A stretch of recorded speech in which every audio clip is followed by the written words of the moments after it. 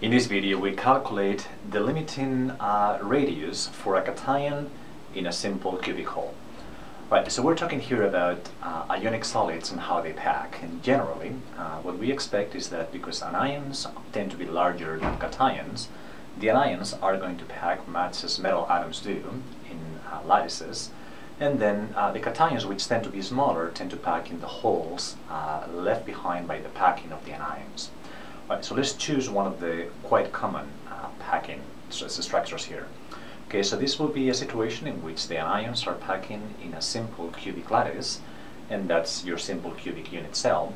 And then uh, we have said that there's one cubic hole in this uh, unit cell right at the center, and that is exactly what the cation uh, is going to go. Is going to go right? So that will be your um, uh, packing with the anions uh, in the uh, simple cubic uh, corners and then the cation in the hole. Right, so the question is, well, what is the geometry of that cubic hole? Uh, and we're going to try to relate that to the radii of the anions and the radii of the radius of the cations. Right, so let's see uh, how that would work.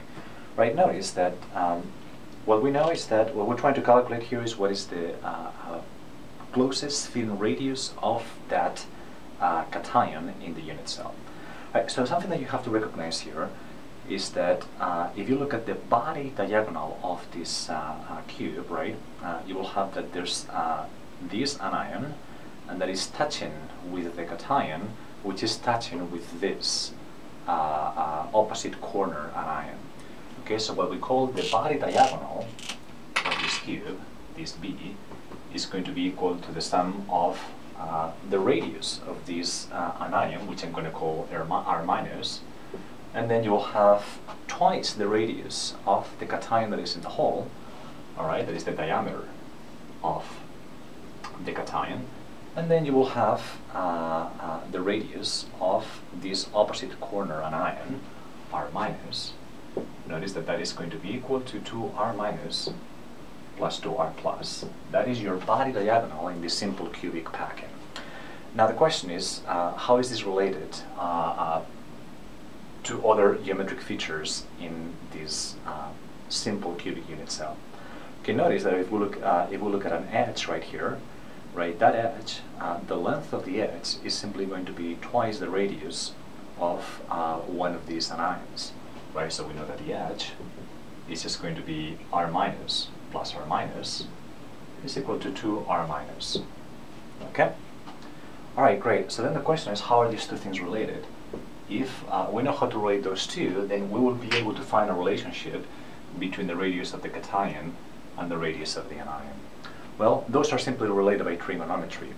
Notice that by trigonometry we know that um, by the Pythagorean uh, theorem, right, uh, the squared of the body diagonal is going to be equal to the square of the edge uh, plus the square of the uh, face and uh, of the face diagonal. Okay, again, the uh, square of the body diagonal is going to be equal to the square of the edge, okay, plus the square of the face diagonal, which we called f squared. And the face diagonal, which will be this one, notice that uh, with the Pythagorean theorem, is going to be equal to just simply uh, the edge squared plus the edge squared, right? So the face diagonal squared is going to be equal to the edge squared plus the edge squared, right? So this is going to be equal to e squared plus e squared plus e squared, that is equal to 3e squared, right? So notice that now we actually have a way uh, to relate those two things so that we can solve for um, the radius of the cation as a function of the radius of the anion. Okay, here this is E, and we actually know that E is equal to 2r minus, so this will be 3 2r minus squared.